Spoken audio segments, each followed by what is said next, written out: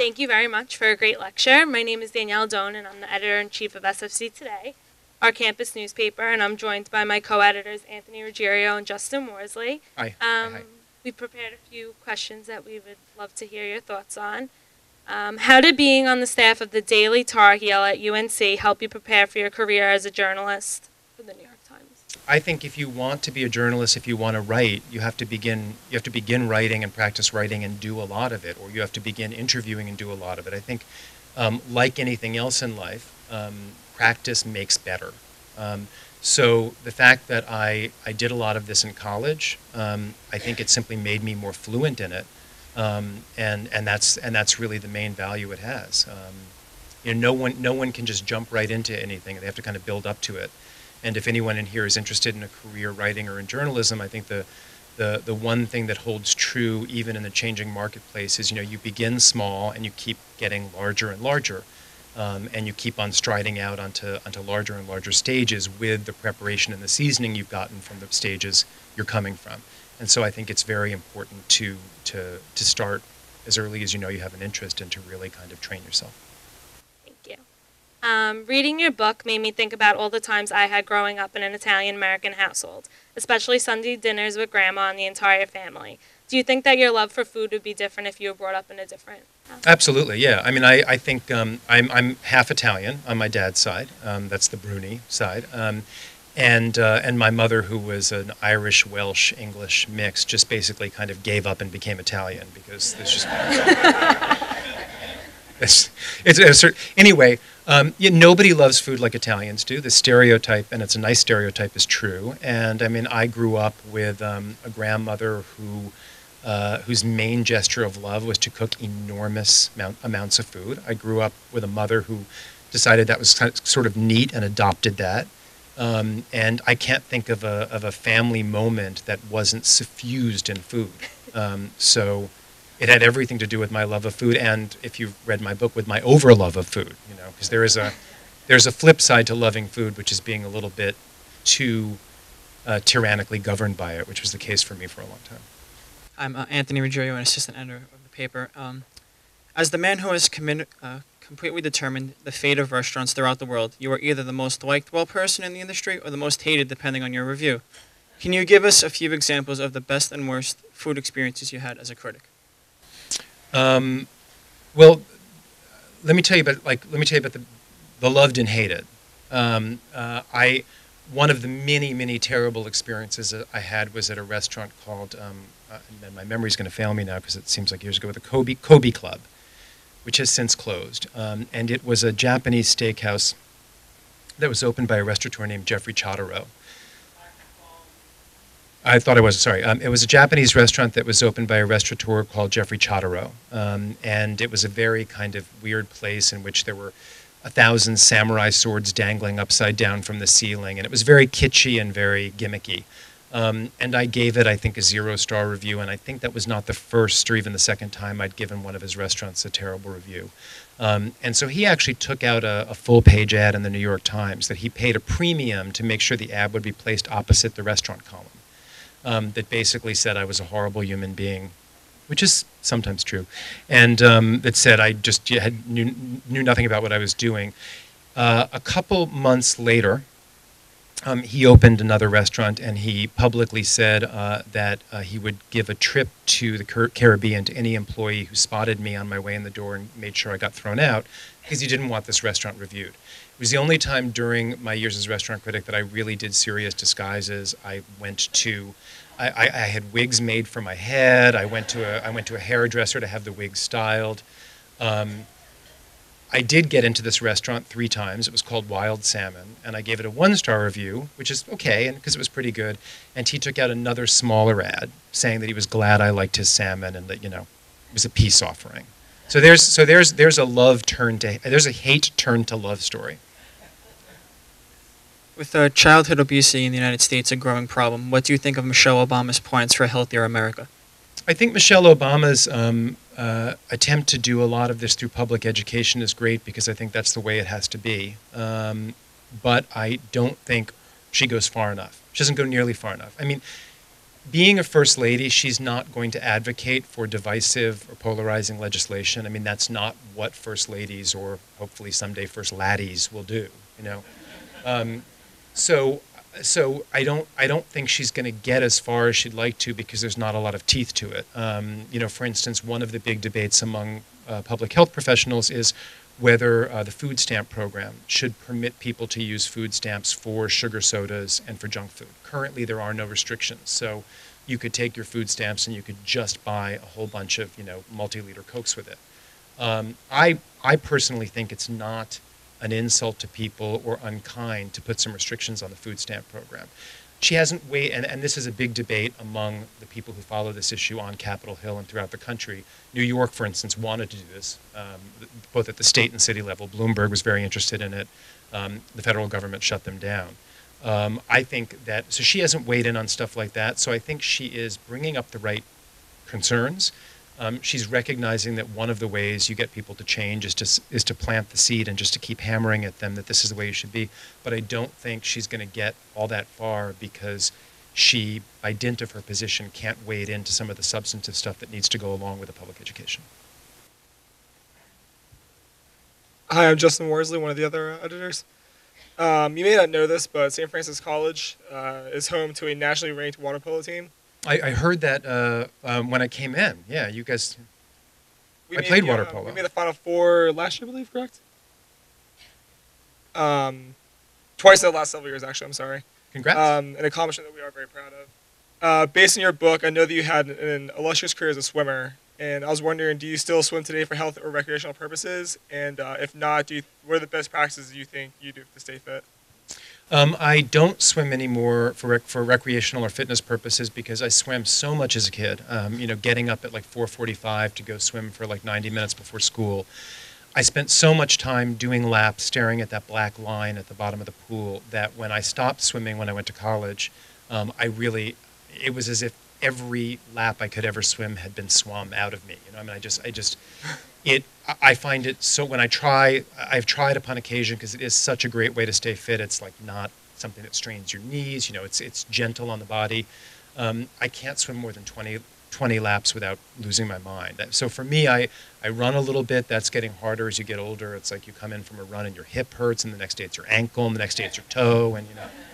Let me just tell you, aging is something you should not look forward to. Um, but I, I do a, uh, I, I'm one of those people who was, you know, designed by God or whomever to be 300 pounds. So um, I do a lot of different things to try to keep it, you know, like 100 or so below that. I, I lift weights a lot these days just because for some reason I find that works better as you age than, than, than running because running is so, um, is so tough on the joints. I do the elliptical. I mean, I do the stuff everybody does. I just try to make sure never to let more than two days go by without doing it. Also, uh, what specific advice would you give to college students hoping to pursue a career in uh, writing, journalism, or culinary arts in the future? Um, culinary arts I can't really answer because I never really had a career in culinary arts. Um, but writing and journalism I can answer, and I mean it's sort of it's sort of an expanded answer from what I said before, which is um, I think for starters you need to do it. You know, people always say um, where you know where can I go do it? Well, one of the one of the bad things about the internet and the fact that, uh, that, that there's not really a great economic model for people to make money on the internet. One of the bad things about that is that is that it's harder than ever, I think, for someone to come out of college or graduate school and get a job that will truly pay them a living wage from the get-go um, as a journalist or as a writer. But one of the good things is there's a sort of democracy to the internet. So if you are writing and you are writing well, um, there's really no limit to who may end up reading you and seeing you um, because there's, there's an ability for word of mouth to build. And if you were, let's say 20 years ago, you'd come out of college and you'd gone to work for the, um, the Long Beach, California paper, you could be doing great stuff, um, but your audience was only going to be so big. If you're doing great stuff on a blog that you started, yeah, the odds are really small your blog is going to take off, but the sky is the limit in terms of what could happen um, because nobody has to get a physical copy of that thing or pay anything to see what you're doing. They just need to have one person linked to it and tell them, hey, there's something over here. And so I think that um, if you are a sort of creative entrepreneur, for lack of a better phrase, I think you have Um, some long shot possibilities, but some possibilities that never existed before. Um, and again, you just you need to do what you want to do on a small level and just keep trading it up for more visible opportunities as you get better. Just one last question in regards to your speech today.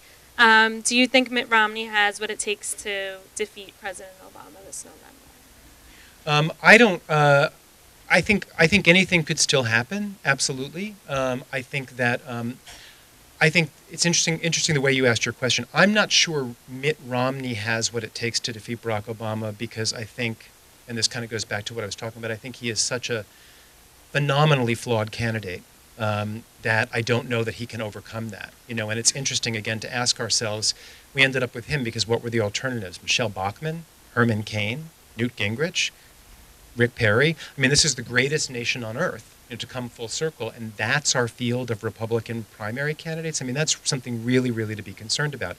I don't know that Mitt Romney has what it takes, but I will say that um, with unemployment over 8%, um, with a lot of um, valid and less valid disappointment with the president, um, it is going to be within the realm of possibility, you know, for a few weeks longer um, that he could turn it around because I think there are people who, well, right now they cannot see themselves voting for Mitt Romney.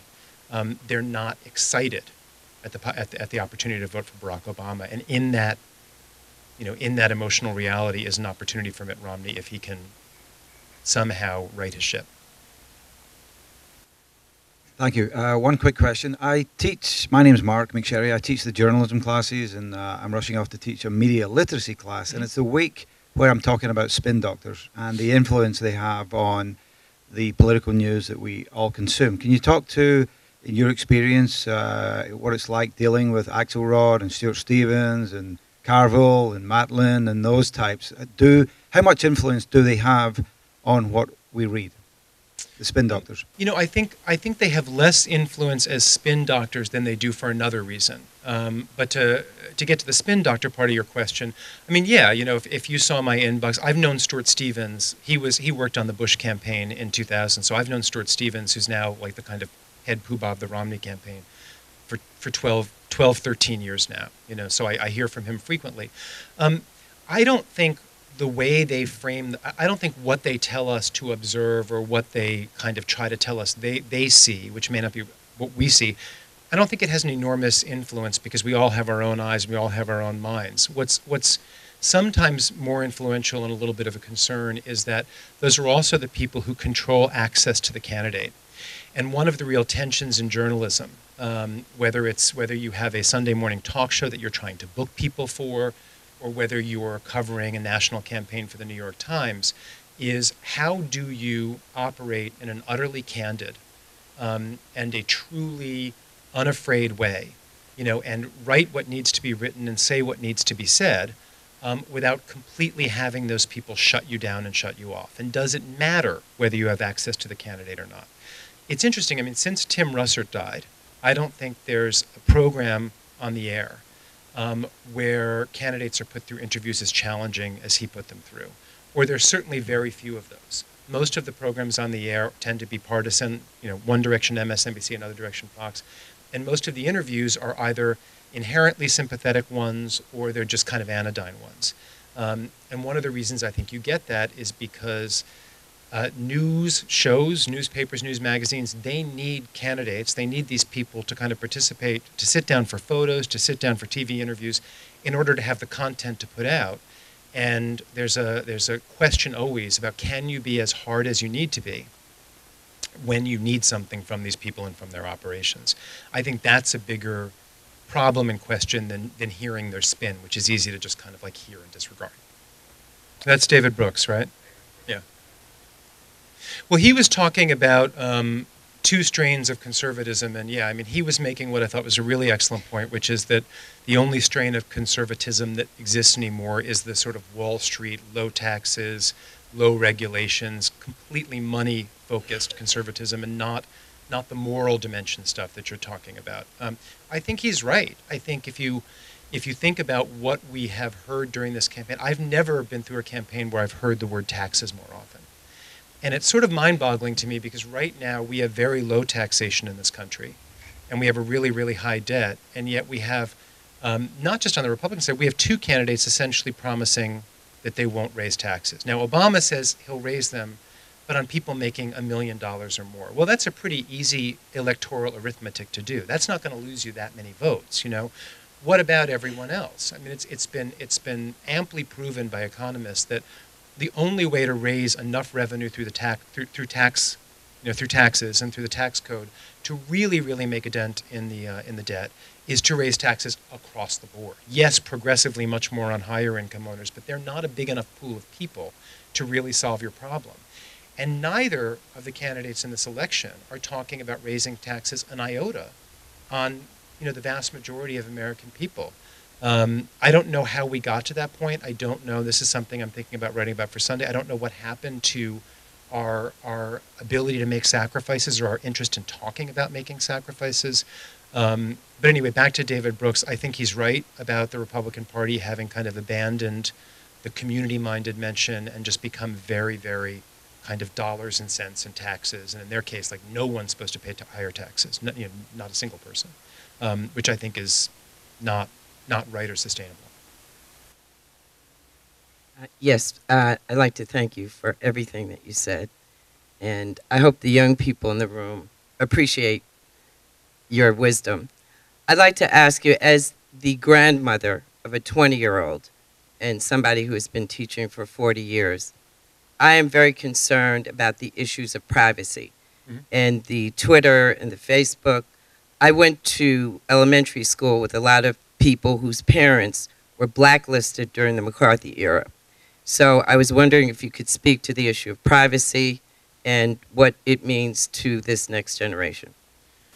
Well, um, I don't think we have any privacy anymore, um, I, and I don't know how we. I don't know how we, you know, shut the lid on that Pandora's box. Um, uh, you know, whether it's whether it's internet bullying, you know, which is a big problem, or whether it's the sort of stuff I was talking about in terms of, of the way we uh, are willing to and do eavesdrop on candidates as if they're becoming candidates means everything is fair game. Um, I think privacy has gone away in this country almost entirely. Um, and I just I don't know how to answer your question because I don't know what we do to get it back. We can't we can't technologically regress, which is and, and, and it's the technological advances and it's the internet and you know uh, iPhone video and iPhone, all of those are the things that have destroyed our privacy. Um, I think the only way we get any of it back is for people, individuals, to make the decision, each of us ourselves, that we're going to observe some civilized lines. You know, that we're not going to put any video we happen to. Well, first of all, we're not going to take video of anything and everything, and we're not going to put anything we capture on video that might interest somebody on the um, on the internet if it's going to hurt somebody. Um, you know,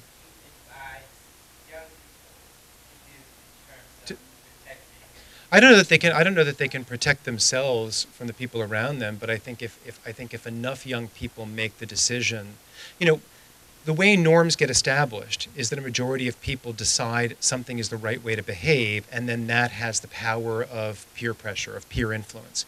So I would say, you know, it's the golden rule all over again. If you decide certain things are not right, and enough people, enough individuals to decide that that is not something that's right and that's not something that should be allowed, I think that example will end up influencing others. Will you always have um, people who will kind of break the norm and do uh, destructive things? Yeah, I don't think you can protect yourself from that. Um, you know, I, maybe there are some answers that have to do with the settings you put on your Facebook account and all that, but I think the stuff that, that, that really becomes disturbing is stuff that you, you ultimately can't just with switching your Facebook settings uh, protect yourself from. Thank you. Let's give Mr. Bruni another round of applause. Thank you.